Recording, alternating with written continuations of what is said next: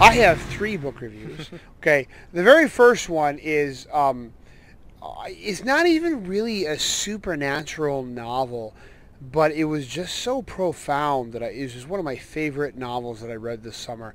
It's called The Saturday Night Ghost Club by Craig Davidson. I don't know if you want to hold that up to the video. Okay, so there's no supernatural elements that happen in this story, but if you're talking about the idea of being haunted, and again, we'll hope that Ted can uh, paste it. We'll send Ted Yeah, a picture well, I'll paste these off. So, uh, when you're talking about a novel that's talking about haunting, a literal haunting, and how we're all basically, whether there's a ghost in our lives or not, we're all haunted people. We're all haunted by our mistakes. We're haunted by things that have happened to us. And it was just a wonderful coming of age story. Um, you know, there was also kind of a a, uh, a love letter to the weird and the strange, um, and I just loved it. I, and I I can't say anything more about it because anything more about it is going to uh, offer too many spoilers. Uh, but it was really, really, really, really great. I highly recommend it. Uh, the second one I want to offer is The Voice of the Martyrs uh, by a, a- good friend, and uh, I, I'll clearly admit it, good friend and, and a brother. I call him my brother from another mother, um, and a mentor, Maurice Broaddus.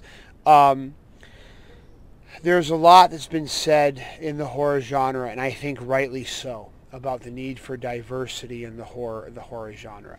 And Maurice uh, has got wonderful stories in here um, that are yes, they are diverse. They are they are uh, um, from different ethnic cultures and different backgrounds, but they never lose sight of the fact that fiction is supposed to be entertaining. And it's just a wonderful, wonderful collection that I, I highly recommend. And my final recommendation for this time is A Penny for Your Thoughts by, by uh, Bob Ford and Matt Hayward. Once again, I have to confess that You've been hanging out with Bob Ford lately. Honestly, I'm gonna I'm gonna be honest. Like, if there was an alternate universe and we're like Bob Ford and I were like, I could almost imagine ourselves in an alternate universe. Where we were born in the same family, and that we are twins, uh, and that we basically have all the same loves and likes. And uh, I probably shouldn't say this, but I'm gonna say it anyway.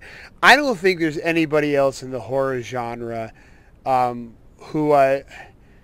I mean, Bob Ford is my like, spirit animal. He really is. He's just- my spirit animal. He's my spirit animal. He's such a great guy, and he's such a great writer.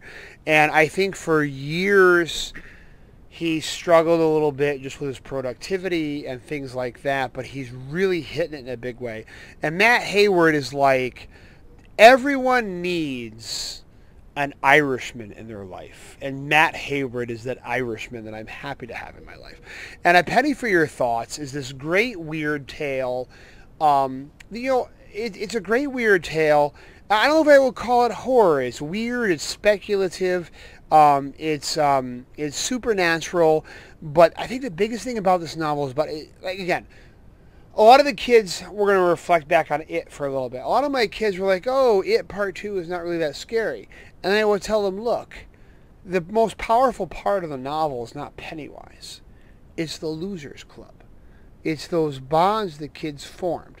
So in a penny of your thoughts, the most powerful part is not the supernatural elements. What you have is a heroin addict who is now out of jail and he's trying to walk the path. And he's doing it. He's staying clean. But that struggle of being an addict and that's never going to change even though you're clean being an addict is never going to change that is what make that is the engine that makes that novel move and the best part is is that they have a sequel coming so i can't wait to see that. So those, those are my book recommendations uh, for this month. And and do you think some of the, the, the disconnect between the two, like between it chapter one and chapter two, is when you're reading the book, you flip a page and you're there and you're right, you're you're back with the losers club, but as adults now, and then and then you get to go through and you get to you immediately remember what it felt like, what they felt like when they were kids, and you're thrust immediately into now their adult problems mm. because it just jumps. Do you think that some of the disconnect in the movie is partly just that you don't, especially because most of the people watching the movie haven't read the book. Most of the people who are yeah. watching it have no Yeah. idea.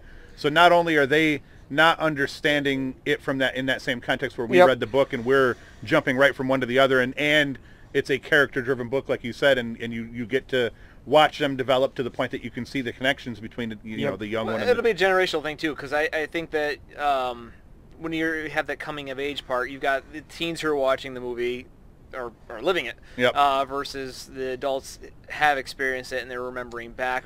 Ver- then you get to the adult story, the adult reflection that's there, the, the, the trauma that's lost. I mean, within the book, I remember being really unsettled by the idea of, of, of those memories just being wiped out. Yep. That that that bothers me. That, that's not Pennywise, but that, that whole aspect of it um, hits a nerve with me, and that's I think that's a much more adult thing where you're Yeah. losing what's there. I think also too, um, it'll be interesting to see what the experience is like watching the supercut, because they're gonna come out with a supercut DVD that's five hours long, and that way you're That's watching. insane. You're watching the whole thing.